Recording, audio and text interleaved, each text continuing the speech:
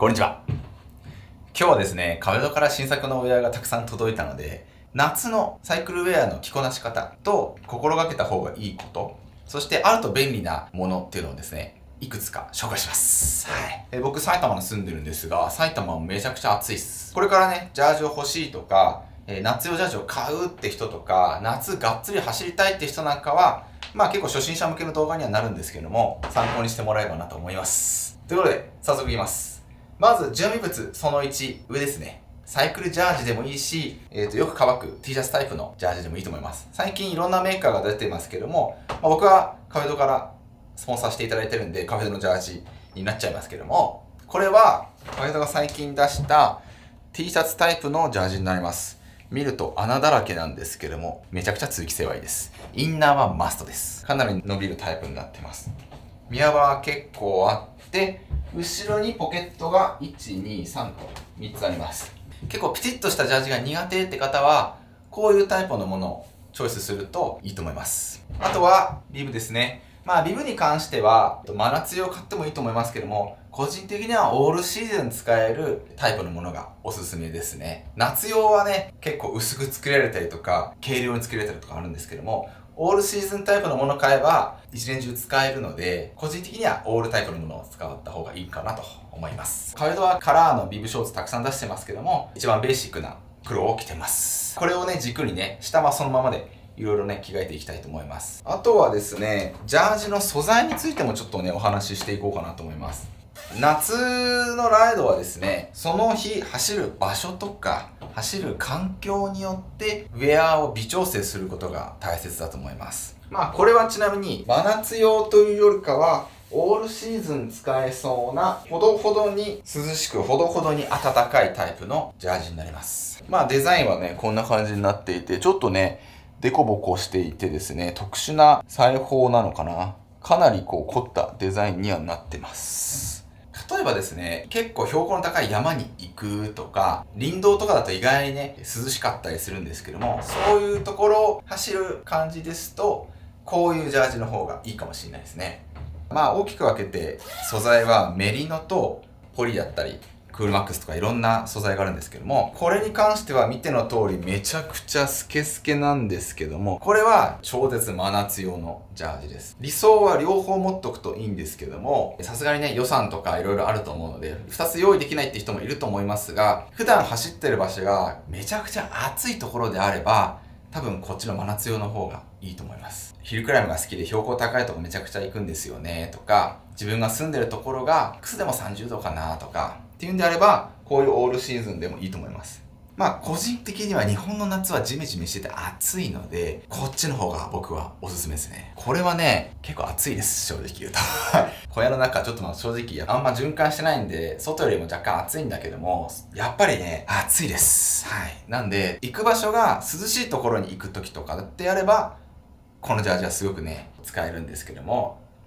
真夏に特化されてるかって言ったら特化されてないです。メリノジャージ系はね、そういう部分があるので、一応乾きやすいですよってなってるんですけども、とはいえ暑いです。言っちゃうと、メリノは。春、秋用かなと思ってます。なので、できれば真夏走るんであれば、真夏用のジャージの方が理想的ですね。かなりこれは癖強めなんですが、せっかくなので着ますね。さらにこれレースフィットなのでかなりピチッとしてるんですが、見ての通りですね、めちゃくちゃスケスケです。中のインナーが丸見えですね。この辺も全部見えてます。まあこれ着るなら、インナーはマストだと思います。はい。海外の人たちって肌見せてなんぼみたいな部分が結構あると思うんですけども、僕なんかはやっぱちょっと少し恥ずかしいので、やっぱりインナーはあった方がいいかなと思います。インナーもメリのインナーじゃなくて、よく吸収してよく乾く、めちゃくちゃ涼しい、軽いインナーがおすすめですね。カフェドのインナーに関しては、かなりスケスケなんですよ。なんで、このインナーだけで過ごすっていうのはなかなか変態です、正直言うと。だから結構癖が強いんですけども、純粋にインナーとして着るだけであればかなり優秀なインナーなので、興味がある人はね、チェックしてもらいたいんですけども、インナーはちょっとこだわった方がいいと思います。ジャージに関しても同じですね。メリノではなくこういうよく汗を吸ってよく乾く素材でいくと快適にライドができるんじゃないかなと思います。で、まあ今ジャージの話はメインでしちゃいましたけども、他にもですね、あった方がいいものあります。ジレですね。よくこうパタパタさせてる人いると思うんですけどもこのペラ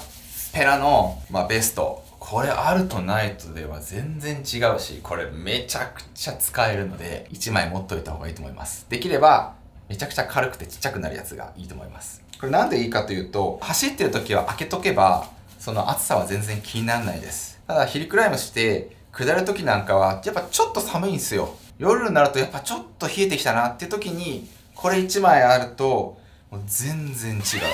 こんなに役に立つのかっていうですね、瞬間がきっと訪れると思うので、ぜひともね、えー、取り入れるといいと思います。特にこう、山へ行く人、ロングする人はあった方がいいと思います。壁ドンのジレに関しては、ポケットがですね、ついてなくて、その代わり背中のポケットにアクセスするためのデッカーナがついてるので、もともと着てるジャージのポケットにアクセスができるというような仕組みになってます。これをすることによってめちゃくちゃコンパクトになるという感じですね。これポケットつけちゃうと、ポケットの分ですね、やっぱ分厚くなっちゃうんですよね。まあ、試しにどんぐらいちっちゃくなるかというと、くるくるくるってまあ、まとめてやると、こんなにちっちゃくなるので、まあ、ジャージのこのね、ポケットにこうちょっと放り込んでおけば、まあ、いつでもね、使いたい時にスパッとこう出して、さっと羽織ることができるという感じです。はい。サイクリストあるあるかもしれないんですけども、ベストをですね、こう走りながらこう、パタパタさせることがとても絵になるということで好きな人はとても好きだと思うんですけども、ジレっていうのはこんな薄っぺらいんですけども、あるとないとでは全然違うので、ぜひあの持っておいてほしいアイテムでございます。そしたらですね、グローブですね。グローブに関しては、夏場グローブ暑いんすよ。指切りグローブだとしても暑いと感じちゃう人もいるかもしれないんですけども、グローブはした方がいいと思います。はい。なぜなら、グリップのしやすさとか操作性とか、うんぬんあるかもしれないですけども、焦げちゃった時とかに、地面に手をついた時、下がね、コンクリだろうが、土だろうが、砂だろうがです、砂利だろうがですね、1枚、こういったのがあると、ガードしてくれます。これがないと、手の皮がずりむけちゃったりしちゃうので、グローブはですね、できればしといた方がいいと思います。はい。あとは真夏なんかはですね、汗でべっちょべちょになっちゃうんですよ。で、ちょっと滑りやすくなっちゃうと、それはそれでね、ブラケットつるってなっちゃうと危ないので、まあそういった意味でもね、グローブはした方がいいと思います。サングラスはね、持った方がいいし、絶対あった方がいいと思います。サングラスはいろんなサングラスがあって、オークリーのね、こういうサングラスもいいと思います。日中なんかはこれはすごくいいですし、見え方もナチュラルなので、普段使いでも使えるようなレンズを使ってます。あとはですね、まあロングライドなんかする人なんかは調光のレンズを使ったサングラスがあるとすごくいいと思います。僕はこれね、 JINSで作ったやつなんですけども、フレームとレンズ込みで1万円の調光サングラスですね。日中走る分はこれサングラスになって真っ黒になるんですよ。夜中走る頃には紫外線がなくなって今みたいにクリアな状態になるので昼夜問わずつけることができます。日中はそうですし夜もですね、できればサングラスした方が良くて河川敷とかね、夕方走ってると虫とかいるじゃないですか。ああいう虫が目に入ってくるとすごく痛いですし高速で走ってるんで固めの虫とかもたまにいるんですよ。ああいうのがガーンってあったら結構目めちゃくちゃ痛いので、そういった虫なんかもガードしてくれるので、日差しをガードするっていう意味もありますけれども、異物が目に入らないようにするためのガードとしてもサングラスはですね、用意した方がいいと思います。ただやっぱり日中のサングラスとしての性能はやっぱオークリーの方が全然いいっすね。風も入ってこないし、コンタクトしててもオークリーは乾きづらいですし、非常にいいね。だからまあその辺はうまく使い分けるのがいいと思います。最強なのはオークリーのサングラスに調光のグラスをつける。これが間違いなく最強です。ってな感じですかね装備は。あとは心がけてほしいことはですねボトルですね。夏場は2本持っとくといいと思います。できればですね1本は飲む用そしてもう1本は体を冷やす用として普通の水を入れておくといいと思います。まあ飲む用に関しては僕はですね、この SIS から出てるタブレットタイプのものを水に溶かすことで体に一番吸収されやすい塩分濃度にしてくれるタブレットを入れてるんですけども、1本は飲む用。で、もう1本は予備兼かける用として水を持っとくといいと思います。はい。で、あとはですね、意外に軽視しがちなのが、まあ、補給系ですね。暑いとですね、食欲が出なくなっちゃうこととかあるんですけども、暑い時こそしっかりと栄養をこまめに取らないとどんどん水分抜けちゃうし、走ってるんでどんどんカロリー使っちゃってて、結構気づいたらハンガーノックみたいな感じになりかねないので、こういう固形のタイプのものをいくつか持ちつつ、理想としては、ジェル系もですね、水を飲まなくても体に吸収されやすいタイプの補給のジェルを持っておくといいと思います。まあ、例えばこの2つに関してはですけども、これカフェインとこれアイソトニックってやつなんですけど、こっちに関しては、これを飲んだ後に水を飲まなくても、スッと体に吸収されるようなやつで、まあ水分補給をしなくてもいいやつ。これに関してはカフェインが入ってるタイプのものなんですけど、やっぱ水分をちゃんと取らないと体に吸収されるまで時間かかってしまうので、余計な水分を取らなくちゃいけないと。だからアイスアイスに関してはこのアイソトニックってやつが夏場なんかは適してんじゃないかなと思います。これ2本にカフェイン1本とか、そういった組み合わせをするといいんじゃないかなと思います。はい、てな感じでございます。夏場なんか結構ね、脱水症状とかになりがちですし、足とかもつりがちなんですけども、上手に補給できてないっていうのが大体の原因なんで、こまめに補給して、体がね、乾ききってない状態をキープすることが、まあ、足つり防止だったりとか、快適なライドができると思いますので、もしこれからね、夏場がっつり走りたいって方は、少し参考にしてもらえると嬉しいです。はい。他にもですね、カフェのジャージはいろいろ届いててですね、全部着たいんですけども、まあ、この辺はね、ライド動画なんかで着れたらなと思ってます。ボーダーの T シャツタイプのものとかもあって、可愛いよね。ちょっと全部は着れないので、またそれはね、ライド動画なんかで見せれたらなと思いますけども、こういうボーダーの普通の T シャツっぽい感じなんですけども、一応グラベルジャージとして販売されてて、裏なんかはね、こうポケットがちゃんとついてるということで、と自分のスタイルとか自分の好みでね、選んでもらっていいんですけども、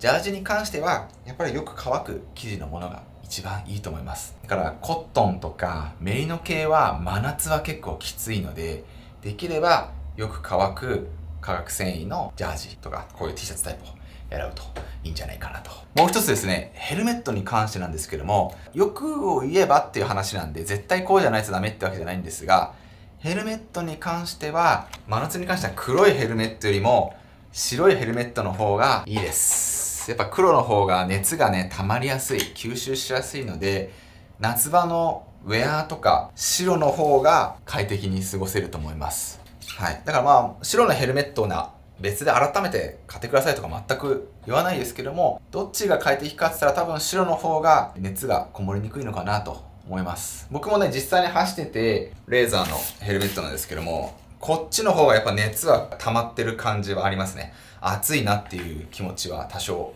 感じます。すべての黒いヘルメットがダメ、すべての白いヘルメットがいいとは言えないんですけども、まあ、少なくともウェアに関しては白いもの、色が薄いものの方がいいのかなと思います。だから僕はさっき着てたジャージなんかは、色的には真夏向きではないのかなと。素材とか生地はね、めちゃくちゃ真夏向きですけどね。ってな感じでしょうか。はい。ぜひね、参考にしてみてください。もしもね、あの、参考になったという方はぜひグッドボタンと、まあチャンネル登録もね、ぜひよろしくお願いします。じゃあ今回の動画は以上です。ありがとうございました。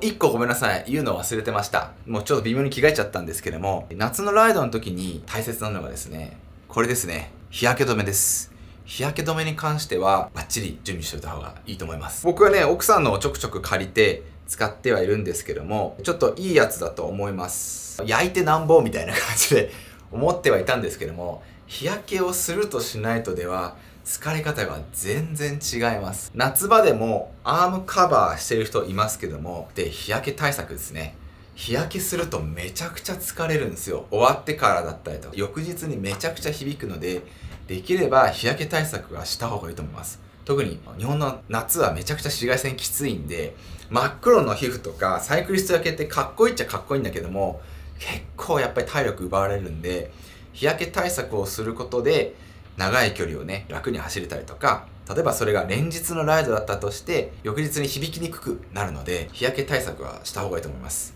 ただ僕もね、実はどの日焼けオイルとか日焼けのクリームがよく分かってなくて、今奥さんの借りちゃってる状態ですけども、もしもなんか日焼けクリームとかこうオイルおすすめがあったらぜひコメントとかで教えてもらえると嬉しいです。あの、速攻で買います。まあ、多分、自転車なんで汗とかかくので、あんまりオイリーオイリーすぎると流れちゃうのかなとか、ちょっとできればサラサラ系が多分いいとは思うんだけども、そのあたりも含めて私はこれ使ってますとかこれがおすすめですとかあったらぜひ教えてください。